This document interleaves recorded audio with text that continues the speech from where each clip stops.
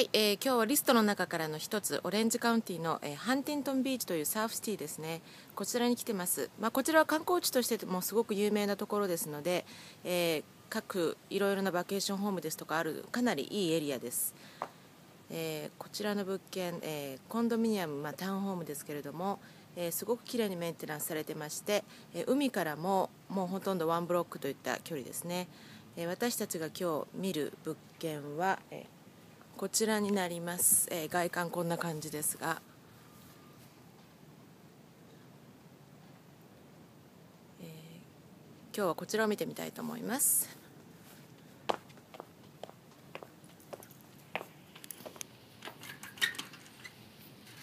まずこちら入りますとすぐに階段がありますが、えー、とりあえず1階から見ていきたいと思います、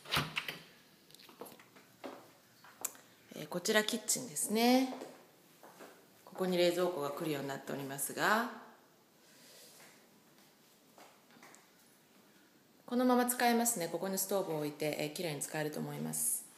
え、こちらランドリーのフックアップですね。ここに、え、ランドリーが来ます、え、こちらにはアクセスがあり、え、ここにはファイアプレスありますね。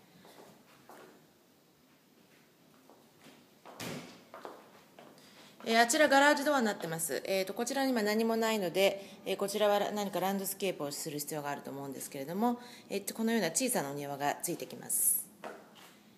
えー、1階にはですねこちらのリビングルームともう一つ、まあ、オフィスみたいなスペースで使える、まあ、ベッドルームとしてですけれどもありますね。えーと、リビングルームの、えー、ファイアプレスとバックトゥバックで使えるようになってます。書斎や、えー、オフィスなどの使い方としていいんではないかなと思います。こちらにもありますね。フックアップがありますね。それから、えー、こちらは1階のバスルームです。ちょっと電気が今ないのでよく分かりませんがまああの標準ですね。非常に綺麗です。あつきましたね。こんな感じになってますね。2階に行ってみましょう、えー、吹き抜けの階段があってこのような感じになってます、えー、ここに明かり取り窓もありますね。えー、物件としては非常にいいです、まあ、オレンジカウンティのこういったフリップ物件が出てくるっていうのもあのまあ、あの珍しいことですのでしかもハンティントンビーチというのは誰もが住みたがるエリアですので、えー、テナント付けには全く問題ないと言えるでしょう。こちらまず1つワンベッドルームがあって、えー、向かいに、もう1つバスルームついてますね。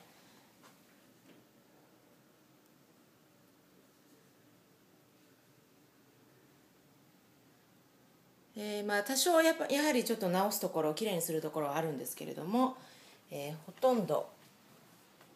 大掛かりな工事はいらないですね。シーリングもポップコーンシーリングではなくなってフラットになってますのでこのまま使えます。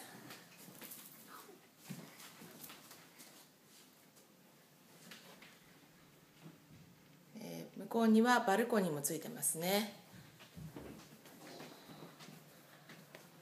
そして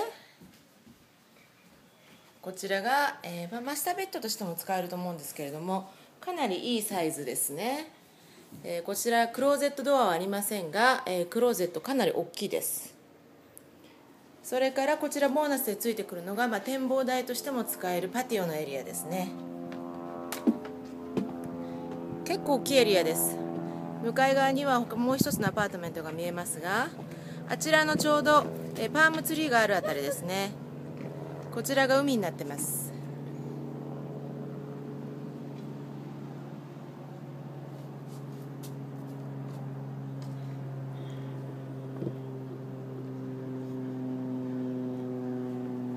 えここからは先ほどの、えー、お庭が見えますね。こうなってましてこちらにはガラージです。ガラージから家のアクセスですね。